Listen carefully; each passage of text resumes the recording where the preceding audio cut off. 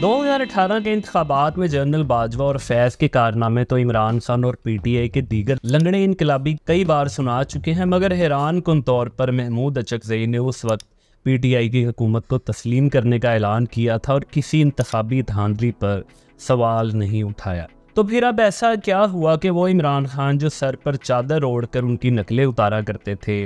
अब वो उनकी जमात को 2024 की फाते जमात करार देकर जमहूरी सफ़र में पीटीआई के साथ आन मिले हैं।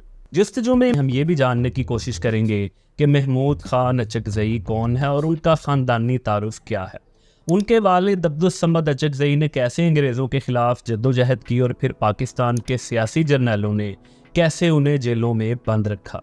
अहमद शाह अब्दाली के जनरल बरफुरदार खान अचकजई कौन थे? एंग्लो अफगान वॉर में अब्दुल्ला अचकजई ने अंग्रेज़ अफसर सर अलेक्जेंडर बर्नस को क्यों मार डाला? उनके वालिद को क्यों बलोचिस्तानी गांधी कहा गया? महमूद खान नचकजई ने कैसे अकरबा परवरी करते हुए अपने करीबी रिश्तेदारों को नवाजने के रिकॉर्ड कायम कर दिए? उनके भतीजे मजीद अचकजई ने कैसे ट्रैफ़िक एहलकार को अपने non custom paid land cruiser के नीचे कुचल दिया और फिर कैसे वो बच निकले? जनरल ज़िया का दौर जब महमूद खान अचकजई को पाकिस्तान से अफ़गानिस्तान जला वतनी इख्तियार करनी पड़ी। वो वक्त जब इमरान खान और महमूद अचकजई करीबी दोस्त हुआ करते थे और फिर कैसे ये दोस्ती ख़त्म हुई। महमूद अचकजई ने क्यों लाहौरियों पर अंग्रेज़ों का साथ देने का इल्ज़ाम लगाया और सबसे बढ़कर क्या बासूल महमूद खान अचकजई ने इमरान खान के सियासी मुर्दे से वोट बैंक चुराने के लिए मैदान में निकलने का फ़ैसला किया? बिल्कुल चेक के भेजे थे मैं आईएमएफ के तमाम कर्जे मुताबिक परवेज रशीद और महमूद खान अचकजई दो है मीम लीग के बेगम सफदरवान साहिबा जिसने इन साम्राज्यों के खिलाफ खड़े होने का फैसला किया अफगान पश्तून वतन था लेकिन हमें गिला है थोड़ा सा साथ लाहौरियों ने भी दिया अंग्रेज़ों का करने जो बेरोकरे जो सियासी आदमी जो आइन की कदर नहीं करता मैं उसको पाकिस्तान का दोस्त नहीं समझता। महमूद जैसे गद्दार जो हैं वो ना सिर्फ़ पाकिस्तान की गोद में है फल रहे हैं फल फूल रहे हैं पनप रहे हैं। सच ये है ये इंतबात बिल्कुल तरीके से जीत चुकी है। महमूद खान अचकजई का शुमार उन सियासतदानों में होता है जो जमहूर की आवाज़ बुलंद करते हैं। आमरीत के ख़िलाफ़ दबंग बात करते हैं, मगर कभी कभी वो जोश खिताबत में कुछ ऐसे जुमले भी बोलते रहे हैं, जो बिल्कुल मुनासिब नहीं थे। मिसाल के तौर पर, कौमी असम्बली के फ्लोर पर उन्होंने पाकिस्तान जिंदाबाद का नारा लगाने से इनकार कर दिया था। मैं कहता हूँ कहता उस पाकिस्तान को किसी कीमत पे जिंदाबाद नहीं जिसमें मेरा होगा। महमूद अचकजई की दास्तान हयात बहुत दिलचस्प होने वाली है, मगर उससे पहले उनका बुनियादी तारुफ लाजमी है। इस ख़ानदान की तारीख बरखुरदार खान अचकजई से शुरू होती है, जो पश्तूनों के कबीले अचकजई की शाख जाले जई हामिद जई से ताल्लुक़ रखते थे। ये ख़ानदान अफ़गानिस्तान स्टेट की तश्कील के वक्त वहाँ के अदालती निज़ाम में शामिल था। बरफुरदार खान अचकजई अहमद शाह अब्दाली की फ़ौज के जर्नल थे, जिन्हें अर्ज़ बेग का टाइटल दिया गया था। उन्होंने सत्रह सौ इकसठ में पानीपत की तीसरी जंग में शिरकत की। अठारह सौ उनतालीस से 1842 तक जारी रहने वाली फ़र्स्ट एंग्लो अफगान वॉर में इसी ख़ानदान के अब्दुल्ला खान अचकजई ने अंग्रेज़ों के ख़िलाफ़ आज़ादी का झंडा उठाया। और कहा जाता है कि वही थे जिन्होंने सर अलेक्जेंडर बर्न्स को कत्ल करके जंग आज़ादी का आगाज़ किया था। 1880 में दूसरी एंग्लो अफगान वॉर में मोहम्मद हुसैन खान अचकजई ने मेवंद की जंग में बतौर कमांडर शिरकत की। ये पहली जंग थी जब किसी एशियाई फ़ौज ने बरतानवी फ़ौज को सख्त जंग में शिकस्त दी। मोहम्मद हसन खान के वालिद फ़तेह खान अचकजई कंधार के गवर्नर थे, जिन्हें बाद में हटाकर जेल में डाला गया था। महमूद खान अचकजई के वालिद अब्दुलसमद खान अचकजई इनायतुल्ला करेज डिस्ट्रिक्ट कोयटा पशीन में उन्नीस सौ सात को पैदा हुए। अंग्रेज़ के ख़िलाफ़ उनकी सियासी जद्दोजहद का आगाज़ तेरह साल की उम्र में हो गया। वो महात्मा गांधी के बहुत बड़े मकदार थे और जब उन्नीस सौ अड़तीस में उन्होंने अंजुमन वतन पार्टी बनाई तो इसका इतिहाद गांधी जी की कांग्रेस से उन्नीस सौ बयालीस में किया। खान नचकजई का ख़ास ताल्लुक बादशाह खान के साथ भी रहा और उन दोनों ने अक्सर सियासी सरगर्मियाँ साथ की, जिस तरह बादशाह खान को सरहदी गांधी का नाम दिया गया, इसी तरह अब्दुल समद अचकजई को बलोचिस्तानी गांधी के नाम से पुकारा गया। अब्दुल समद ना सिर्फ़ एक सियासतदान थे, बल्कि इसके साथ साथ उन्होंने सहाफ़त सोशल रिफॉर्मर और लिखारी के तौर पर भी तबाह आजमाई की। उन्नीस सौ अड़तीस में उन्होंने इस्तलाल के नाम से अखबार का इजरा किया। उन्होंने अबुल कलाम आज़ाद की इजाज़त से उनकी तफसीर कुरान को पश्तों में तर्जुमा भी किया। जिस तरह बादशाह खान की ज़िंदगी का बड़ा हिस्सा असीरी में गुजरा तो उसी तरह अब्दुलसमद अचद जई ने भी ज़िंदगी का बड़ा हिस्सा जेल में गुजारा। उन्हें पहली बार उन्नीस सौ उनतीस में गिरफ़्तार किया गया, पाकिस्तान बना तो उन्हें उन्नीस सौ अड़तालीस में गिरफ़्तार कर लिया गया। वो पाकिस्तान में जमहूरीत की सरबुलंदी की आवाज़ बुलंद करते रहे। वन यूनिट की मुखालफत की और जनरल यूब खान ने मार्शल लगाया। तो वो अमरीत के दौर में पहले सियासी कैदी थी और यूबी दौर में रिहा होने वाले भी सबसे आखिरी सियासी कैदी थी उनकी ज़िंदगी के कितने साल जेल में गुजरे, इस हवाले से मुतजाद आदद शुमार सामने आते हैं। मिसाल के तौर पर अब्दुल समद की सवान उम्री माई लाइफ एंड टाइम्स के मुताबिक उन्होंने छियासठ साल ज़िंदगी में से चालीस साल जेल में गुजारे, जबकि फैज़ुल्ला पानजई की किताब, शहीद खान अब्दुल समद खान रचकजई की किताब में ये अरसा बाईस साल एक माह बताया गया है। दो दिसंबर उन्नीस सौ तिहत्तर की रात कोयटा में एक बम धमाके में अब्दुल समद खान की शहादत हुई। और फिर उनके 25 साल बेटे महमूद खान अचकजई को पश्तून खान नेशनल अवामी पार्टी का सरबराह बना दिया गया। अब्दुल समद अचकजई की एक साहबजादी और चार साहबजादे हैं। अब्दुल वाहिद अचकजई मोहम्मद खान अचकजई महमूद खान अचकजई और डॉक्टर हामिद खान अचकजई उनकी साहबजादी खौर बीबी ने 1970 में सूबाई नशिस्त पर कामयाबी हासिल की थी और रुकने बलोचिस्तान असम्बली बनी। 2013 में नवाज़ शरीफ ने अपने देरीना सियासी दोस्त महमूद खान नचकजई को निगरान वजी अजम बनने की पेशकश की तो उनके इनकार की बुनियादी तौर पर दो वजूहत हो सकती हैं। अव्वल तो अगर वो निगरान वज़ी अजम बनते तो फिर वो इंतबात में हिस्सा नहीं ले सकते थे, और दूसरा, शायद उनको ये उम्मीद थी, उनसे वज़ी अजम बनने के लिए बहुत इसरार किया जाएगा, मगर जब उन्होंने इनकार किया तो दीगर ऑप्शंस पर गौर किया जाने लगा। मगर अफसोसनाक तौर पर जब 2013 में निगरान वजी अजम बनने से इनकार करने वाले महमूद अचकजई रुकन कौमी असम्बली बने और उनकी सियासी जमात पश्तून खा मैप बलोचिस्तान की दूसरी बड़ी सियासी जमात के तौर पर उभरी और पाकिस्तान मुस्लिम लीग नून और नेशनल पार्टी के साथ हुकूमत बनाई तो उन्होंने तमाम जमहूरी रिवायात को नज़रअंदाज करते हुए अपने ख़ानदान को इस अंदाज में नवाजा कि अकरबा परवरी की एक बड़ी मिसाल कायम हो गई। महमूद खान नचकजई ने नवाज़ शरीफ को ख़ास तौर पर सिफारिश करके अपने सबका ब्यूरोक्रेट भाई मोहम्मद खान नचकजई को गवर्नर बलोचिस्तान बनवाया। अपने एम बी बी एस छोटे भाई हामिद खान नचकजई जो उन्हें इंतबात में रुकने बलोचिस्तान थे, उन्हें सूबाई वज़ीर बनाया। महमूद खान अचकजई ने सुनहरी मौके पर अपने brother in law Qazi Mahmood Khan की अहलिया सपोजई अचकजई को ख़वातीन की मखसूस नशस्त पर रुकने सूबाई इसम्बली बनवाया। और ये अमल वो इससे कबल 2002 में परवेज़ मुशरफ की आमरीत में भी कर चुके थे। इसके अलावा अपने भाई अब्दुल वाहिद खान अचकजई के बेटे अब्दुल मजीद खान जो 2013 में एक बार फिर रुकने सूबाई इसम्बली बने थे, उन्हें पब्लिक अकाउंट्स कमेटी का चेयरमैन बनाया।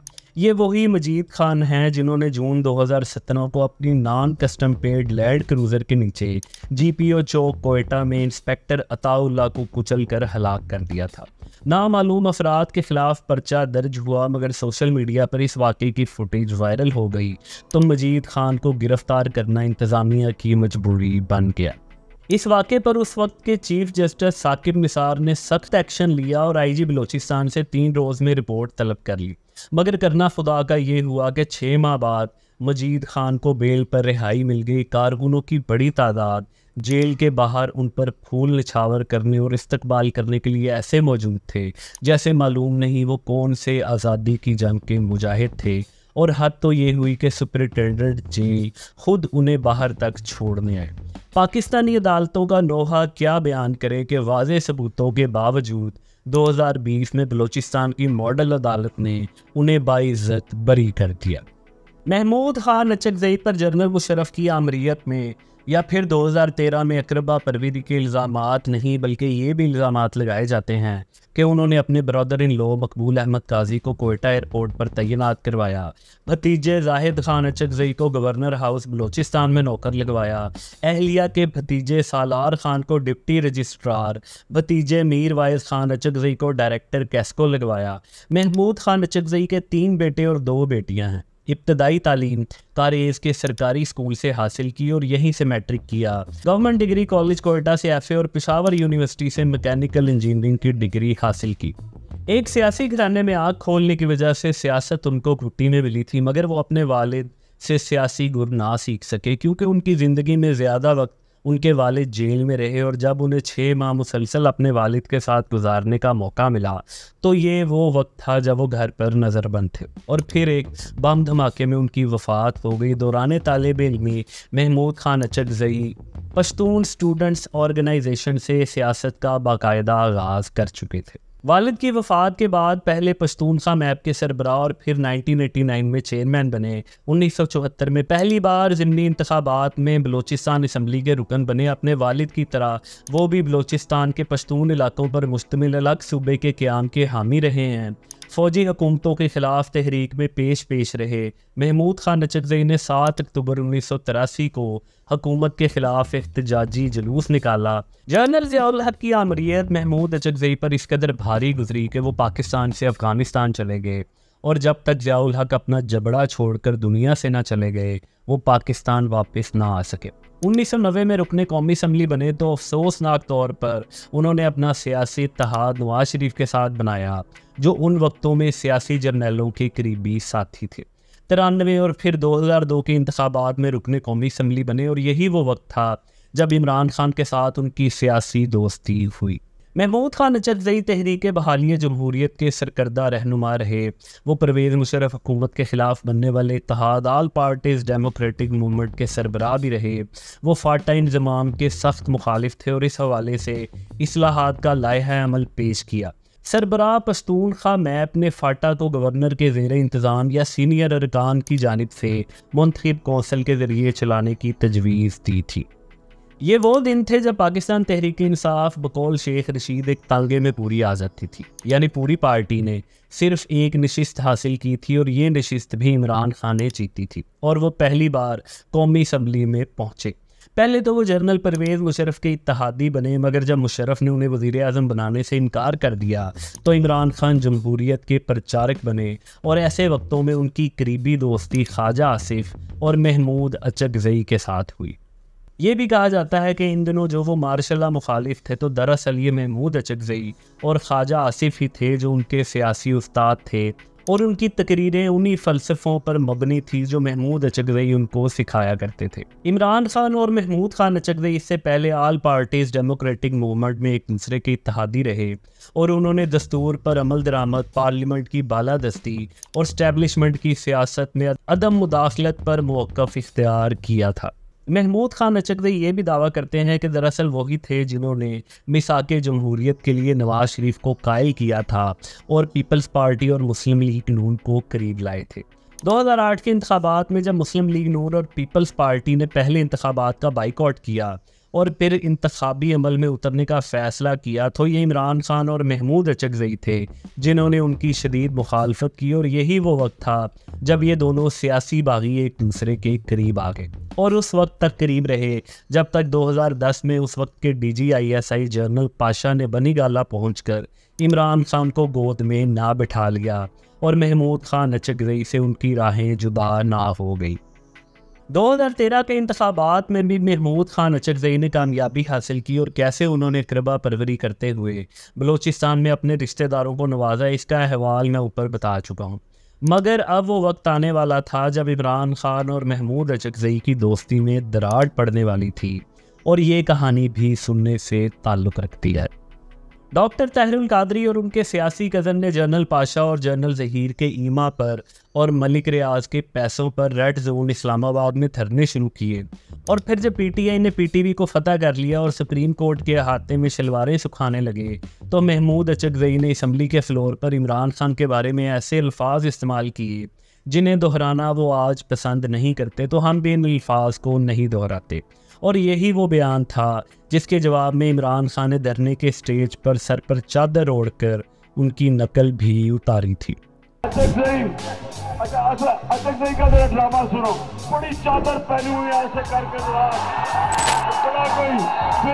महमूद खान नचकजई अक्सर जोश खिताबत में ऐसे अल्फाज बोल जाते हैं जो तारीखी और इखलाकी एतबार से मुनासिब नहीं होते। दिसंबर 2020 में पीडीएम के जलसे में उन्होंने लाहौरियों पर एक इल्ज़ाम लगाया। हमने अपनी बिसात के मुताबिक साम्राज्य का मुकाबला किया, लेकिन हमें गिला है, हिंदू, सिख और दूसरे रहने वालों के साथ लाहौरियों ने भी साथ दिया अंग्रेज़ों का।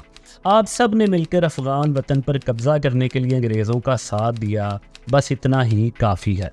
पाकिस्तान के हर बासर शख्स को मालूम है कि इमरान खान की कहानी ख़त्म हो चुकी है और अब सियासतदान सहाफ़ी सिर्फ़ उनके सियासी मुर्दे से अपने अपने फ़ायदे हासिल कर रहे हैं।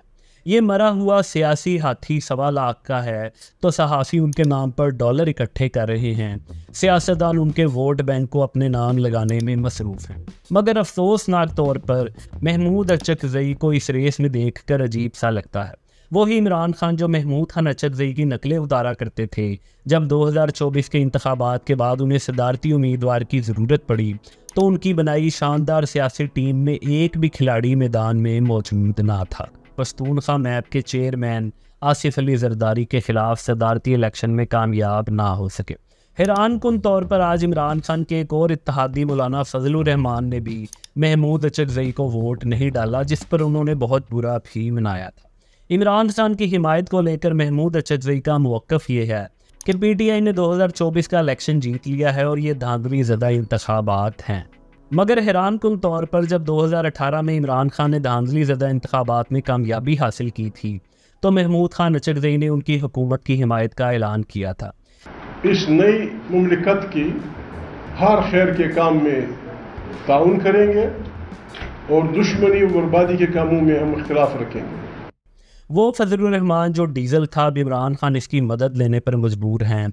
मेरी इतला ये है कि इमरान खान का ये मुजाकर का ड्रामा बस एक नकाती एजेंडे पर मरकूज़ है, जहाँ पर इमरान खान जेल के अंदर हर तरह की मिनतें करके देख चुके हैं, मगर उनसे कोई भी रिहाई की बात करने के लिए आमादान नहीं है। तो अब इमरान खान एक एंटी इस्टेब्लिशमेंट बंदे को अपना नुमाइंदा बनाकर एक पैतरे के तौर पर अपनी रिहाई की एक और कोशिश करने लगे हैं। मुजाकराती टीम को नवाज़ शरीफ और आसिफ जरदारी के पास भेजा जाएगा। और इस सिलसिले में इमरान खान का एक वाद पैगाम ये है कि अगर उन्हें रिहाई मिलती है तो वो कभी माजी की गलतियाँ नहीं दोहराएँगे और नवाज़ शरीफ और आसिफ जरदारी के ख़िलाफ़ नफ़रत की सियासत ख़त्म कर देंगे। वो आसिफ जरदारी जो इमरान खान की बंदूक की शिस्त पर था, वो बिलावल जिसकी इमरान खान नकलें उतारा करते थे। वो नवाज़ शरीफ और शहबाज, जिनके खिलाफ दशनाम तराजी से सोशल मीडिया भरा पड़ा है। अब इमरान खान इन्हीं से मुजाकर के लिए ख़ुद को तारीखी तौर पर गलत साबित करने पर भी तैयार। है उसके लिए उन्हें महमूद अचकजई की ज़रूरत है, जो अब इमरान खान की तरफ़ से मुजाकराती टीम के सरबराह हैं। आपकी राय मुख्तलिफ़ हो सकती है, लेकिन जब तक पाकिस्तानी सियासतदान अपने अंदर मौजूद काली भेड़ों को सबक नहीं सिखाते, उस वक्त तक पाकिस्तान के हालात बेहतर नहीं हो सकते। क्योंकि यही वो सियासतदान हैं जो जब चाहे सियासी जर्नलों की गोद में बैठकर पाकिस्तान की तबाही में अपना किरदार अदा करते हैं। और जब ज़रूरत पड़े तो लंगड़े इनकलाबी बनकर जमहूरीत पसंदों की सफ़ों में सबसे आगे पहुँच जाते हैं। और अफसोस इन सियासतदानों पर है जो इनके हाथों खुद को बेवकूफ़ बनवाते हैं, मगर पाकिस्तान का नुकसान भी करते हैं। मगर क्या इन सियासतदानों को इस तरह बेवकूफ़ बनने का हक है? और बकौल इमरान खान, क्या ये उनके बाप का पाकिस्तान है? आपको स्क्रीन पर एक लिंक नज़र आ रहा है, अगर आपको जिस की वीडियो पसंद आई है और आप हमारी दूसरी वीडियो देखना चाहते हैं तो इस लिंक पर क्लिक कर सकते हैं।